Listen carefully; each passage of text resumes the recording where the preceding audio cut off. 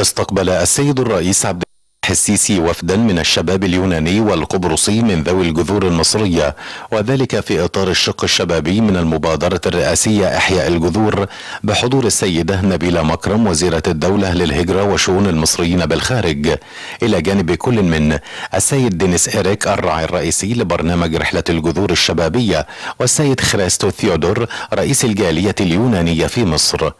المتحدث الرسمي باسم رئاسة الجمهورية صرح بأن السيد الرئيس رحب بالوفد الشبابي من اليونان وقبرص في بلده الثاني مصر مشيرا سيادته إلى أن إطلاق مبادرة إحياء الجذور المصرية اليونانية القبرصية قد جاء استنادا للتاريخ المشترك بين الدول الثلاث والممتد عبر آلاف السنين كما تمثل رسالة مودة وروح طيبة من جانب مصر تجاه كل من عاش على أرضها وترك أثرا أو إرثا إنسانيا. كما أكد السيد الرئيس على أصالة العلاقات والقواسم المشتركة بين الشعوب الثلاثة وانصهار الجاليات القبرصية واليونانية داخل بوتقة الشعب المصري على لعدة أجيال متعاقبة وهو الأمر الذي جعل مصر أول دولة في العالم تحتفل بالجاليات التي أقامت بها دعما للعلاقات بين الشعوب. كما أكد السيد الرئيس اهتمام مصر باستمرار تدعيم جسور التواصل الشعبي والمجتمعي بين الدول الثلاث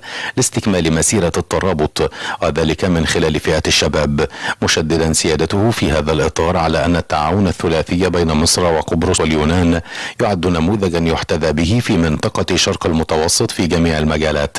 وأن زيارة الشباب الحالية في إطار مبادرة إحياء الجذور هي خطوة مهمة لتعميق التواصل بين الأجيال الحالية الحالية من الدول الثلاث. وكذلك تعزيز التعاون الثلاثي بينهما على خلفية أهمية الشباب في هذا الإطار كصانع للمستقبل ولبناء جيل يعتز بأصوله ويؤمن بأهمية الوحدة والترابط بين الدول الثلاث على الأخص. وتبني المواقف الداعمة للقضايا المشتركة بينهم بما يضمن الحفاظ على أمن واستقرار منطقة المتوسط وتحقيق التنمية والرخاء لهذه الشعوب.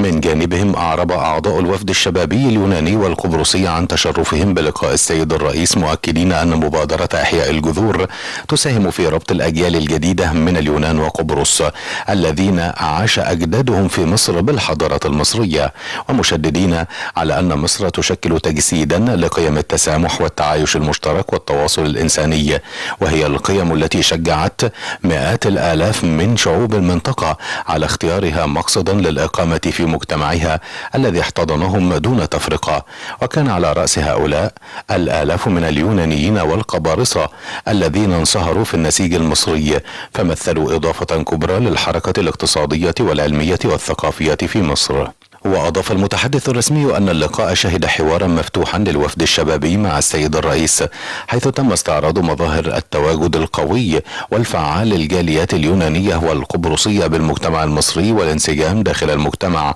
على مدى العصور حتى الآن واكتسابهم للهوية المصرية مما أدى إلى جعلهم من أهم الجاليات المؤثرة والفاعلة في الدولة المصرية. وساهم بقوة في دعم وتقوية الروابط والعلاقات المتبادلة بين بين الدول الثلاث وقد أشاد الوفد الشبابي بما لمسوه من تطور كبير في مصر من خلال المشروعات القومية الكبرى التي زاروا عددا منها وذلك إلى جانب المعالم الأثرية والسياحية الأخرى حيث أكد السيد الرئيس في هذا الإطار أن التطور الذي تشهده مصر حاليا والسعي لامتلاك القدرة بمفهومها الشامل هدفه بالأساس التنمية والبناء والسلام والحفاظ على الأمن والاستقرار للمنطقة بأسرها.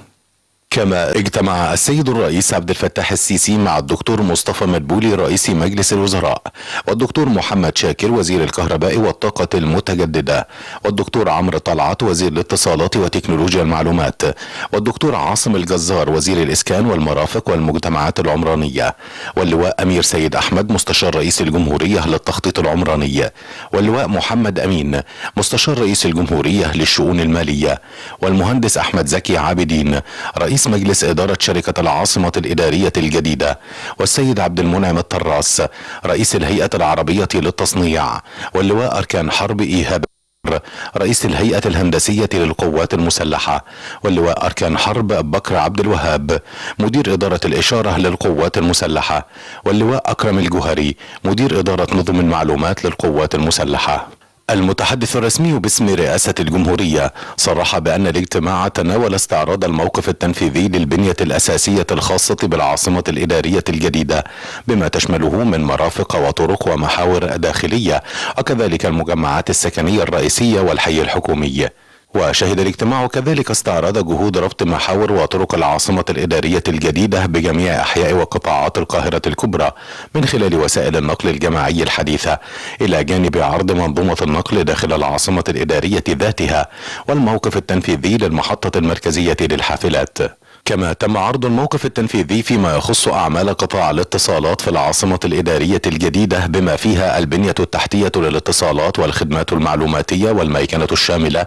والتحول الرقمي للوزارات وبرامج تدريب الموظفين على نظم المعلومات الجديدة مهارات